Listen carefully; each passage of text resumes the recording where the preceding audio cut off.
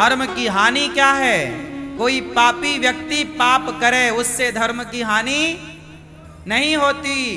पर कोई सतमार्ग पर चलने वाला, सही मार्ग पर चलने वाला गलत करे। जैसे आपके गाँव में, आपके गाँव में, आपकी गली में, आपके मोहल्ले में कोई बहुत अच्छी स्त्री है, जो बड़ी पूजा करने वाली थी, बड़ी भजन करने वाली थी, बहुत सारा गाँव उस महिला को अच्छा कहता था। और वो स्त्री पराए मर्द के संग यदि भाग जाए तो लोगों की तो श्रद्धा ही उड़ जाती है। लोग क्या कह, अरे, करती तो थी बड़ी पूजा, जाती तो थी बड़ा मंदिर। उसके काम करने से, उसके गलत काम करने से पूरे समाज की श्रद्धा बिगड़ जाएगी। वो धर्म की हानि है। और आपके गाँव मोहल्ले की कोई गलत महिला जो बिल्कुल गलत ऑलरेडी है, वो किसी के संग भाग जाए तो आपके धर्म की हानि ना होगी भाई, वो तो ऐसी थी ही। आपके गली मोहल्ले का कोई पुरुष जो बड़ा धर्मात्मा है, जिसे आप ताऊ कहते हैं, चाचा कहते हैं, मौसा कहते हैं, मामा कहते हैं बड़ी श्रद्धा है, बड़ा अच्छा है, बड़े अच्छे विचार रखता है, वो गलत करेगा तो आपकी श्रद्धा टूट जाएगी। आपको धर्म की हानि होगी, क्योंकि आपकी श्रद्धा थी। इसलिए केवल अनिरुद्धाचार्य की ज़िम्मेदारी नहीं, आप जितने लोग यहाँ बैठे हैं, जितने लोग कथा सुन रहे हैं जो रामचरितमानस भगवत गीता में श्रद्धा रखने वाले लोग हैं, जो राम और कृष्ण में आस्था रखने वाले लोग हैं, आप सबकी ज़िम्मेदारी है कि आप कभी ऐसा कोई काम ना करें कि आपके काम से समाज में गलत मैसेज जाए, धर्म की हानि हो। आप राम के उपासक हैं, आप कृष्ण के उपासक हैं, क्यों? यदि ये राम राम जपने वाला लड़का गलत काम करेगा तो इसके दोस्त यार क्या बोलेंगे यार? तू तो बड़ा राम राम जपता था। और देख, तूने गलत काम किया, इसका मतलब उन लोगों की राम के प्रति श्रद्धा खत्म हो जाएगी। हाँ या ना? आपकी गलती से आज समाज में क्या हुआ? यही तो हुआ। जिन साधु संतों में बड़ी आस्था थी लोगों की, उन्होंने जब गलत किया तो उनके गलत करने से लाखों नहीं, करोड़ों लोगों की श्रद्धाएँ समाप्त हो गई। वो लोग भगवान से हट गए। जबकि इसमें भगवान की क्या गलती है? गलती तो व्यक्ति की थी ना, पर गलती भले व्यक्ति करे, पर बदनाम तो धर्म ही होता है ना। बदनाम तो हानि तो धर्म की ही होती है ना? जब जब हो यह धर्म की हानि। इसलिए आप सबकी, हम सबकी ये ज़िम्मेदारी है कि हम कभी ऐसा कोई काम ना करें, जिस काम से हमारे धर्म की, हमारे धर्म की हानि हो। हम ऐसा काम करें कि हमारा धर्म और आकाश की ओर ऊंचाइयों की तरफ़ बढ़े। हमारे कारण हमारा धर्म और निखर करके आए। आपके कारण आपका धर्म और लोगों के अंदर आस्था और श्रद्धा पैदा करे। ये हम सबकी ज़िम्मेदारी है। इसलिए सुनो तुम शराबियों के पास बैठा भी मत करो। तुम गंजेड़ियों के पास जुआड़ियों के पास बैठा भी मत करो। तुम सत्संगी हो, तुम वृंदावन आए, तुमने भागवत सुनी और जाकर के तुम भले जुआ ना खेलो, पर जुआड़ियों के पास बैठ जाओ। तो देखने वाले को गलत प्रभाव पड़ेगा। वाह, ये तो भागवत सुनने गए थे। और भागवत सुन के बैठे कहाँ है जुआड़ियों के पास? भले आप नहीं खेल रहे हैं। भले आप नहीं खेल रहे हैं, लेकिन बैठे तो हैं। आप साथ किसका दे रहे हैं? ये मायने रखता है। क्यों?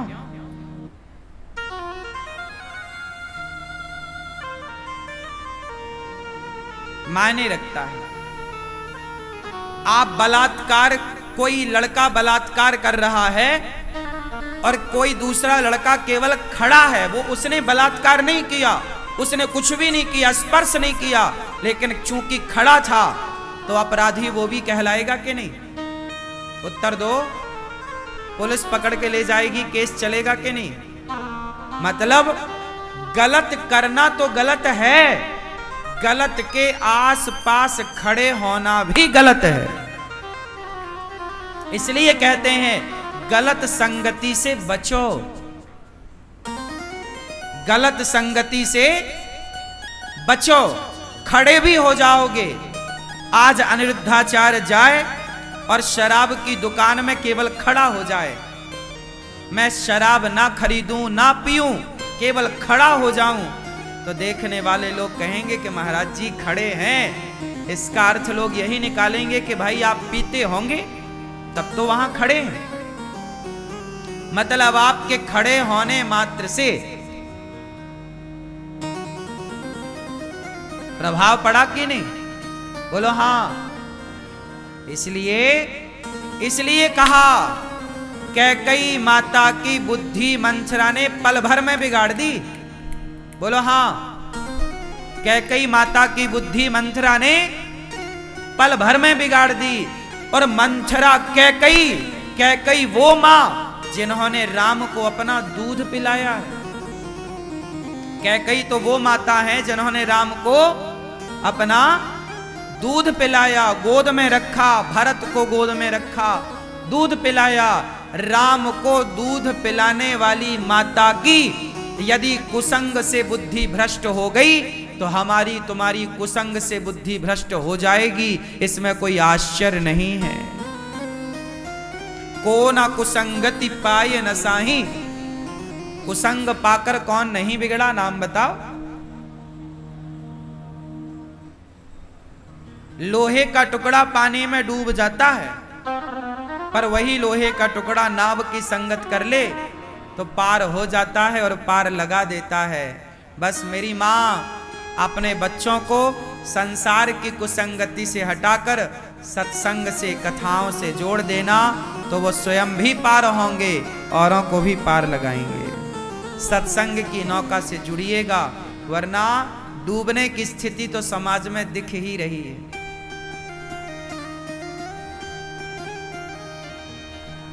संगत से गुण आत हैं, संगत से गुण जाए। लोहा, जड़ा, जहाज़ में, पानी में उतराए। आजकल के बच्चे बात समझते नहीं हैं। आजकल के बच्चे बड़े होशियार हो गए हैं। उन्हें अच्छी बातें बताओ तो उन्हें गलत लगती है। उन्हें जो गलत बातें बोल रहे हैं, वो गलत बातें उन्हें अच्छी लगती हैं। क्या करें? और समाज में गलत बातें बताने वाले बहुत माँ कहती है, बेटा, बीड़ी ना पीना। बाप कहता है, बेटा, शराब ना पीना। तो बेटे को माँ बाप दुश्मन से दिखते हैं। और उसी को उसके दोस्त कहते हैं हाँ बेटा, चल आज एक पैक मारेंगे। आज ये वाली सिगरेट पियेंगे। तो सिगरेट पीने वाले, पिलाने वाले उसे बहुत अच्छे लगते हैं। यार, तुम बहुत अच्छे दोस्त हो, देखो, कितना ख्याल रखते हो। शराब लेकर आए हो। तो शराब लेकर जो आता है, वो उसे बहुत अच्छा लगता है। और जो माँ बाप कहते हैं कि बेटा शराब ना पीना तो वो माँ बाप बच्चे को दुश्मन लगने लग जाते। तुम तो हमारे दुश्मन हो। तुम तो हमारी स्वतंत्रता छीन रहे हो। तुम तो हमारी आज़ादी पर प्रहार कर रहे हो। ये स्थिति हो गई है आज। आज सही बात करने वाले आज 80 परसेंट बच्चे अपने माँ बाप को अपना दुश्मन मान लेते हैं। हाँ या ना? हर बात पे माँ बाप रोका रोकी टोका टोकी करते हैं। बेटा ऐसा नहीं, बेटा ऐसा नहीं, बेटा। तो बच्चों को लगता है कि तो हमारी स्वतंत्रता पर प्रहार किया जा रहा है। आजकल तो माई लाइफ माई चॉइस चल रहा है। मेरी ज़िंदगी, मेरा अब आपका कोई इंटरफियर नहीं है। स्वतंत्रता! आज के लोग, आज के बच्चे क्या होना चाहते हैं? स्वतंत्र। किसी का इंटरफियर ना हो।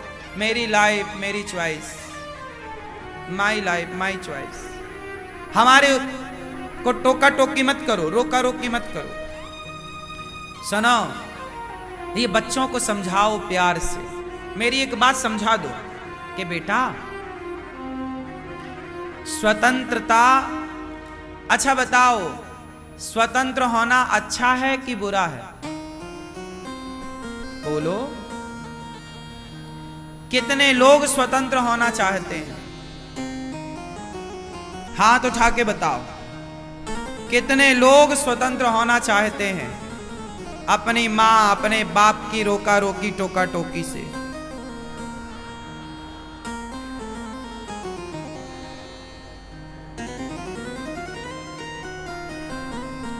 सबसे ज़्यादा हाथ किसने उठाए पता है आज के लड़का लड़कियों ने। ये स्वतंत्र होना चाहते हैं।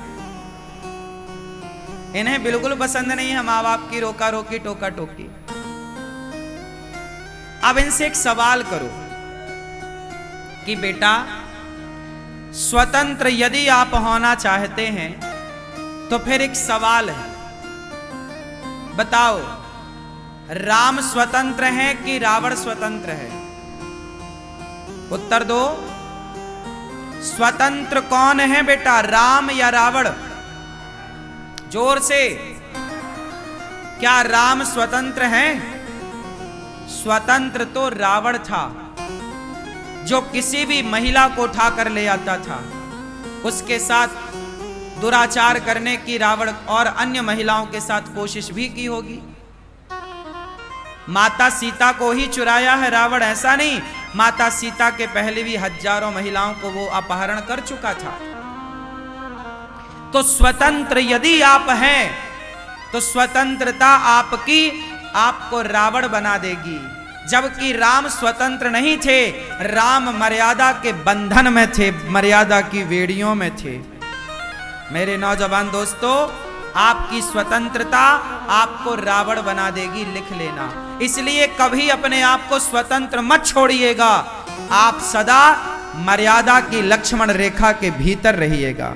संस्कारों की रेखा के अंदर रहिएगा। आपकी स्वतंत्रता, अरे पतंग, जब तक धागे से जुड़ी होती है, आकाश में ऊंचाइयों तक पहुँचती है और वह धागे की स्वतंत्रता से जब धागे से कट जाती है और स्वतंत्र हो जाती है तो हिचकोले खाते हुए पतंग नीचे आ जाती है। जो स्वतंत्र हो गया, वो पतंग की तरह नीचे गिर जाएगा। जो स्वतंत्र हो गया, वो रावण की तरह होगा और जो मर्यादा में होगा, वह राम की तरह होगा। अच्छा स्वतंत्र कौन था? माता सीता या सूपनखा बोलो, कौन स्वतंत्र है? जो स्त्री स्वतंत्र होगी, वह सूपनखा हो जाएगी। मर्यादा के बंधन में तो माता सीता है। इसलिए जो नारी मर्यादा के बंधन में रहेगी, वो सीता होगी। जो मर्यादा की रेखा में रहेगी, वो सीता होगी। और जो स्वतंत्र होगी, वह सूपनखा हो जाएगी। इसलिए आप बताओ बच्चों को कि स्वतंत्रता का मतलब क्या है और बंधन का मतलब क्या है। स्वतंत्रता, मैं स्वतंत्र होना नहीं चाहता। मुझे बंधन में रहना अच्छा लगता है। सामाजिक दबाव माता पिता का दबाव सोचिए कि जिसके ऊपर समाज का कोई दबाव ना होगा माता पिता का दबाव ना होगा, वो संतान कैसी होगी?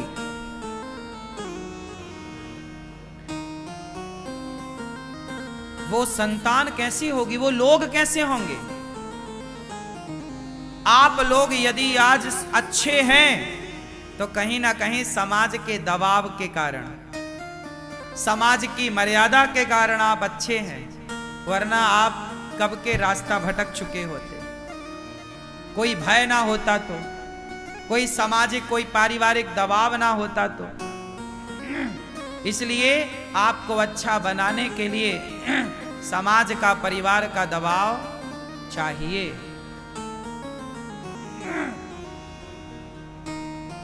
ज़रूरी है।